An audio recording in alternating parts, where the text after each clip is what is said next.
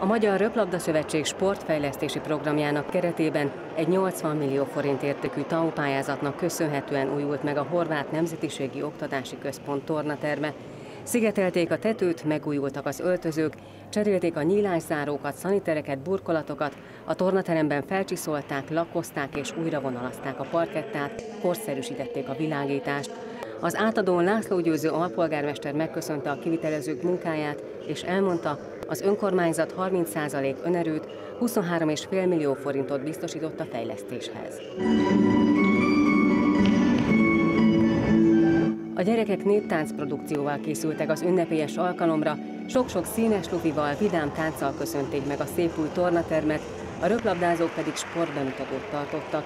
Ez a fejlesztés mérföldkő a fiatal intézmény életében. Mindenképpen egy nagyon-nagyon fontos pontja az életünknek, az intézmény életének, hiszen ismereteim szerint nagyon kevés olyan intézmény van, akár a városban, akár országos szinten is, ahol ilyen modern körülmények között tudnak a gyerekek napi szinten sportolni.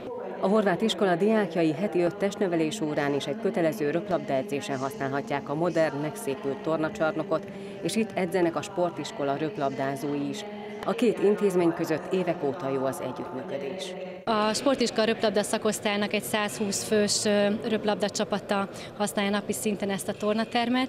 Itt az U10-estől az U17-es korosztályig vannak csapataink, korosztályunkon két-három csapatunk van, akik a magyar bajnokságban is játszanak.